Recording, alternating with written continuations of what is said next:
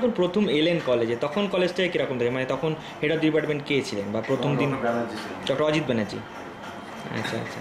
তো তখন কীরকম ছিল ডিপার্টমেন্ট প্রথম কথা দেখো আমি অনেক স্কুলে পড়ছি। বাবার ট্রান্সফার সার্ভিস ছিল তার মধ্যে আমার দেখা মানে আমি যে কটা স্কুলে পড়েছি তার মধ্যে সেরা স্কুল হচ্ছে জলপাইগুড়ি জেলা স্কুল। আচ্ছা। so far as the beautiful school আমি জানি না, এখন কি অবস্থায় আছে? তা আমি ধরো এখানে এসে বিভিন্ন স্কুল বা তারপরে এই অ্যাডমিশনের জন্য বিভিন্ন কলেজ টলেজে গিয়ে কোনো জায়গার অ্যাটমসফিয়ারটা আমার খুব অ্যাট্রাক্ট করে। মানে আমার মনে হয় প্রচণ্ড ক্রাউডের একটা ব্যাপার। কিন্তু এইখানে এসে বিশেষ করে আমি যেদিন তখন আমাদের আবার অ্যাডমিশন টেস্টের অ্যাডমিট কার্ড দেওয়া হতো। আচ্ছা। ফর্মটা জমা দিতে হতো মেন ইয়েতে বিল্ডিংয়ে আচ্ছা। এবং তারপর তার দু তিন দিন পরে ডিপার্টমেন্ট থেকে অ্যাডমিট কার্ড দেওয়া হয়েছে। সেই অ্যাডমিট কার্ড নিতে আমি প্রথম ডিপার্টমেন্টে আসি। আচ্ছা। এবং ডিপার্টমেন্টে এসে তখন ডিপার্টমেন্টটা বেশ এমনিতে নিট অ্যান্ড ক্লিন ছিল।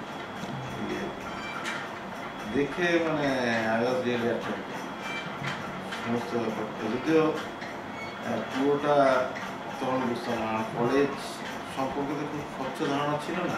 মোটামুটি যেটুকু শুনেছি। সেটা রিয়েলি সুন্দর ছিল এবং আমাদের ধরো আন্ডার গ্র্যাজুয়েট যখন করতাম তখন ডিপার্টমেন্টটা তো আমার মনে হয় খুবই ভালো কন্ডিশন এবং একটা জিনিস আমাদের জিওলজিতে ছিল আরও অনেক ডিপার্টমেন্টে ছিল তখন definitely। যেটা এখন কিন্তু একটু ল্যাকিং মানে ফ্র্যাঙ্কলি বলছি। যেটা আমাদের ডিপার্টমেন্টে কিন্তু সেভাবে we never felt any holiday হ্যাঁ মানে এরকম হয়তো ধর পরীক্ষার আগে সামার ভ্যাকেশনের আমাদের পরীক্ষা হতো। হয়তো হোস্টেলে খাওয়া দাওয়া করে একবার ডিপার্টমেন্টে জাস্ট ঘুরতে আসতাম। মানে সামার ভ্যাকেশন বলো যে কোনো ভ্যাকেশন আমি কিন্তু আমরা কিন্তু এসে মোটামুটি মেজরিটি টিচারের ঘর খোলা এবং দীর্ঘক্ষণ মানে বেশ কয়েকজন টিচার ছিল যারা দীর্ঘক্ষণ থাকতেন না।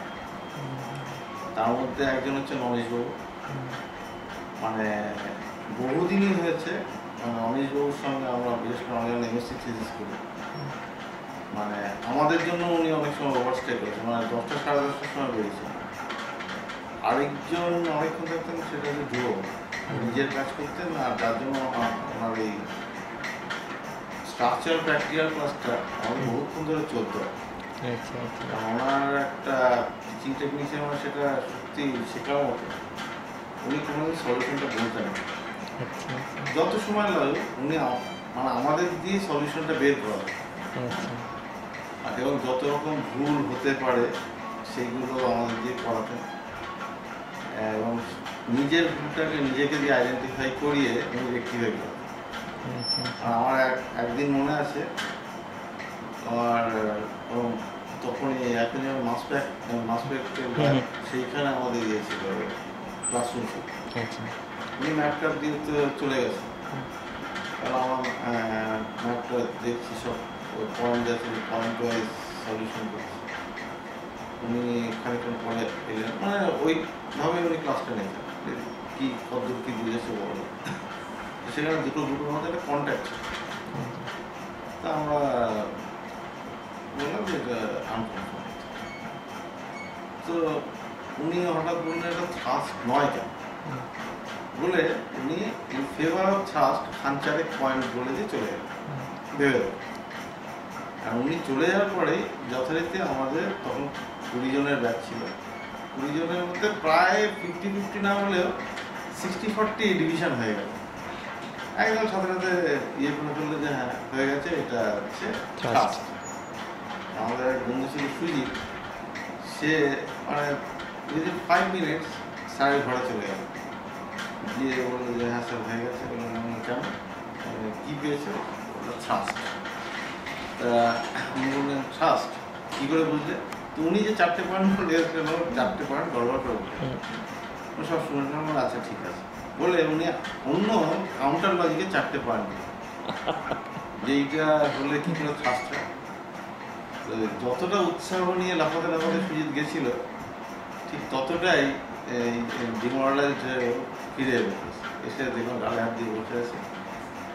তা আমার কী হয়েছে? বলল যে, না, এটা আনকনফার্মিটিও হতে পারে। কেন? তখন আবার উনি যে পয়েন্টগুলো বলেছেন সেটা তো আবার আরেক দল গেল আনকনফার্মিটি তখন উনি আগে যে চারটে পয়েন্ট বলেছেন, সেইগুলো বাদ দিয়ে আর অন্য দুটো পয়েন্ট বলে ইন ফেভার অফ ফার্স্ট এইভাবে চলছিল। মানে প্রায় আটটা সাড়ে আটটা পর্যন্ত চলার পরে আলটিমেটলি মানে এত পয়েন্ট হয়েছে, কিছুই আর বাদ নেই।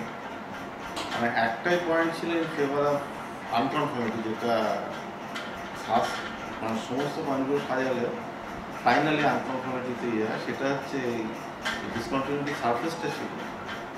মানে ইয়াঙ্গার ইউনিটের বা ইয়াঙ্গার সাকসেশনের সবকটা বেরিং প্লেন হচ্ছে তার প্যারালাল আচ্ছা।